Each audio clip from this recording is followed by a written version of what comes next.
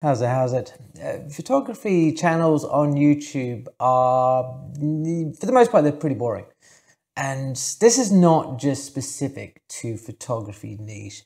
I've noticed, and maybe you have as well, that over the last six months or so, a lot of the content that I'm seeing on my homepage is is basically just the same thing repackaged in in different ways and especially prevalent in photography because obviously you know, we know the topics, composition, lenses, aperture, sharpness, those kind of things.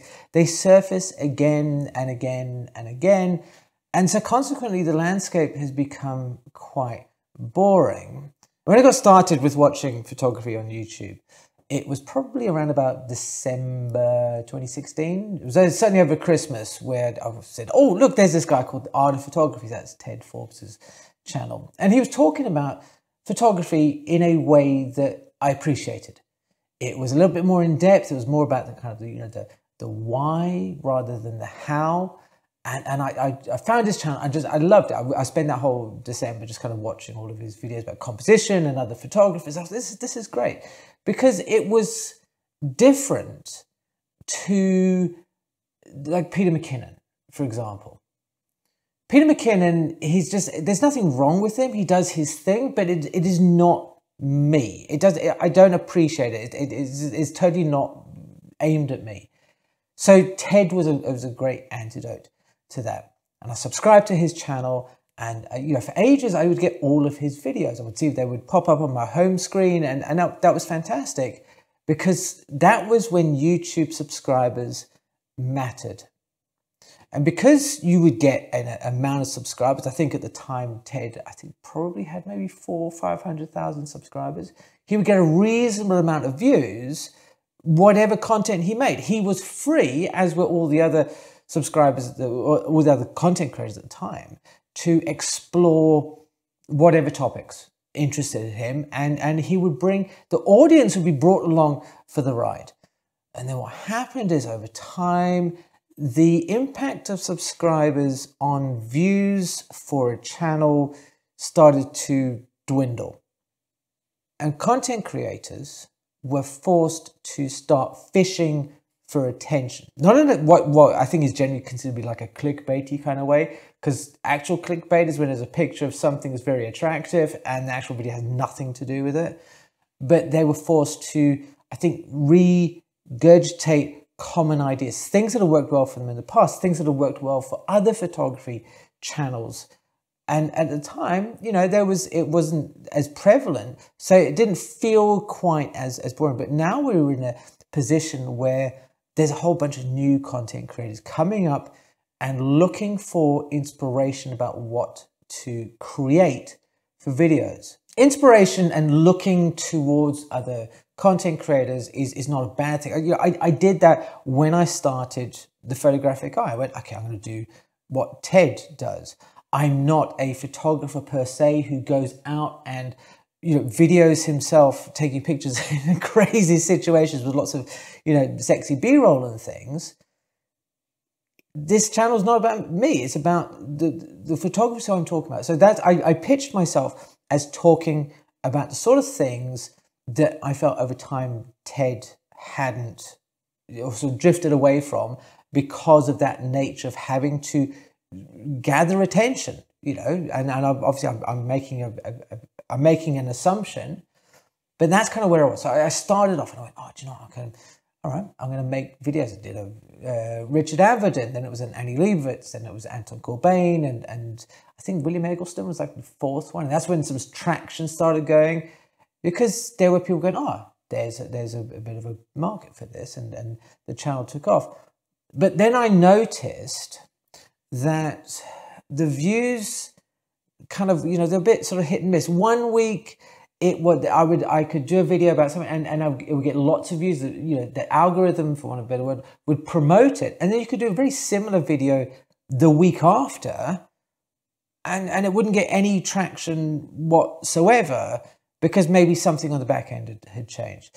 So it kind of meant that I was stuck between a, a bit of a, a, weird problem. Is that one hand I had subscribers and people were subscribed to the channel, but if they didn't watch one or two of the videos, especially in the days, because it was quite it was quite prevalent, and people would actually discuss this with me, that they wouldn't be shown any subsequent videos. So like I'd go for 10 videos and somebody come back and go, oh, I, I thought you'd stop making videos. Because even though they were subscribed to me, there wasn't anything coming through.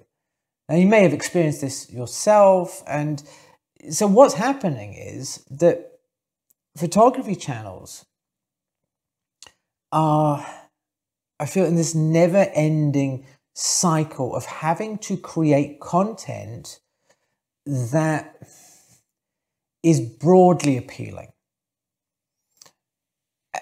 because we can't make content that is just the sort of things we want to do. You know, if you are subscribed to this channel, you subscribe to it because you want to see content from me. If you know, if I'm subscribed to Ted Forbes or to Thomas Heaton or so any of these other guys, it's because I want to see their content. I don't want to see on my home screen videos from photographers from whom I've never heard of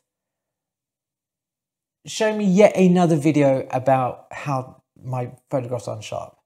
Firstly, I don't really give the tiniest poop, right, about sharpness in photography. It's bourgeoisie, right? He says, right, it's not, it's not the sort of thing I'm into. But that's kind of why we're in this, this place right now where it seems that a lot of the content that YouTube is serving me is a rehash of a rehash of a rehash of a rehash because people are coming in to the the photography niche ecosystem, whatever you want to call it, and and I think fairly understandably looking at what's worked in the past. There is a video about composition made by Jamie Windsor.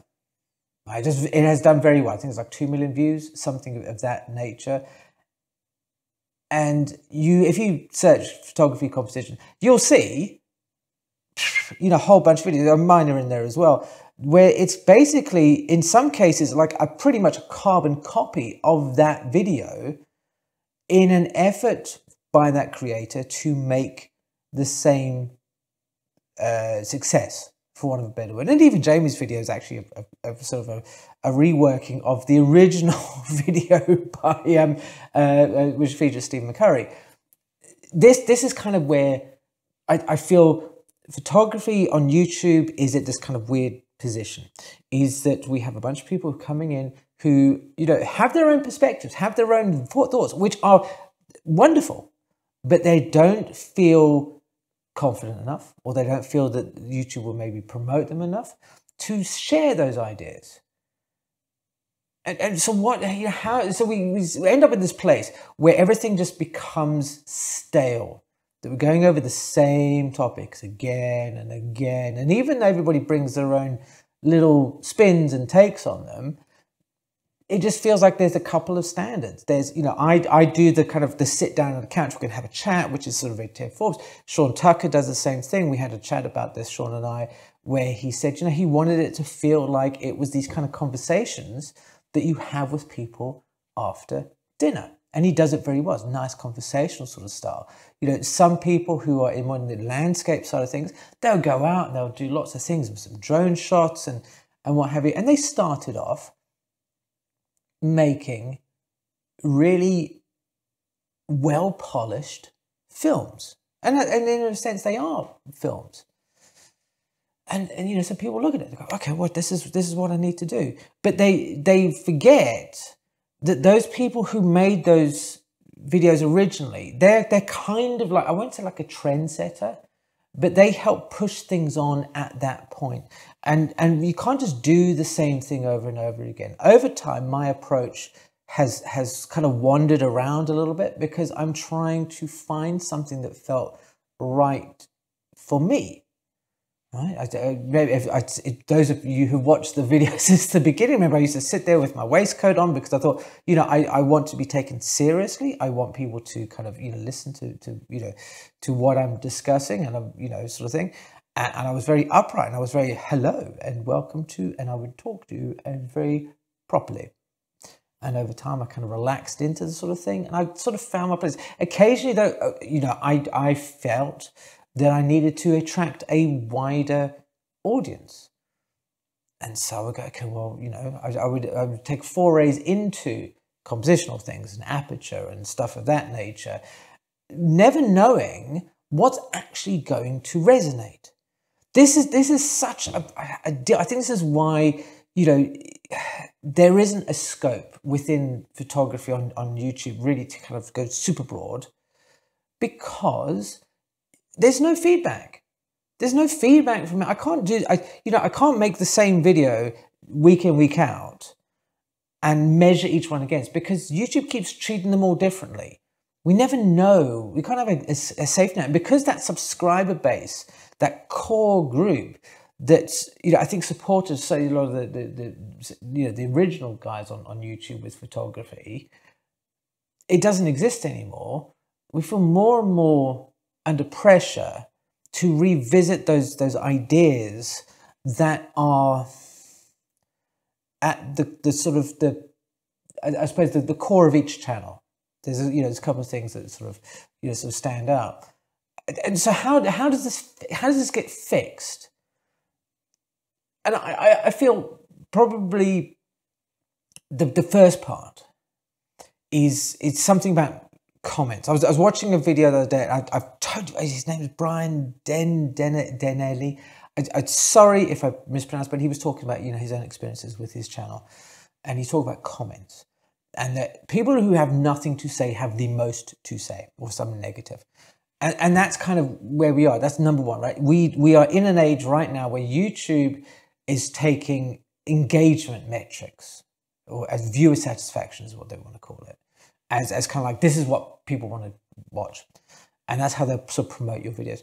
And and I've and I've found over time that often people are more willing to say that's a rubbish video or how dare you actually talk about photography because your photographs are actually pretty crap which is a comment that i've had that you have bad teeth that you have hair that looks like it wants to commit suicide it, it's weird stuff like that they're always you know happy to show but the people who often do enjoy a video will sit there and they watch a video and they go, wow, I, I really like that, but that was really, really good. That was uh, really good. But they don't sort of like it. They don't sort of comment or anything like that.